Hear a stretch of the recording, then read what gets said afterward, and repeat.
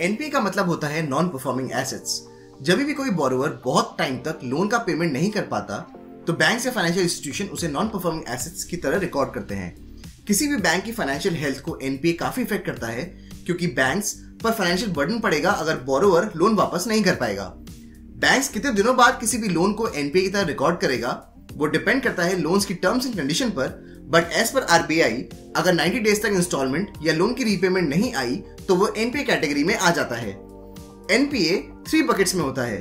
First है सब standard assets अगर लोन रीपेमेंट या कोई इंस्टॉलमेंट 12 महीने तक एनपीए रहता है तो उसे सब स्टैंडर्ड एसेट्स कहा जाता है। सेकेंड है डाउटफुल एसेट्स अगर 12 महीने से ज़्यादा हो गए और लोन एनपीए है तो वो डाउटफुल एसेट्स में आ जाता है। लास्ट है लॉस एसेट्स अगर ये कंफर्म हो जाए कि लोन वापस नहीं आएगा तो बैंक उस लोन को लॉस एसेट्स में कंसिडर करते हैं। तो ये था कि एनपीए क्या होता है। चैनल को लाइक एंड सब्सक्राइब करना मत भूलिएगा। हम मिलते हैं नेक्स्ट वीडियो में।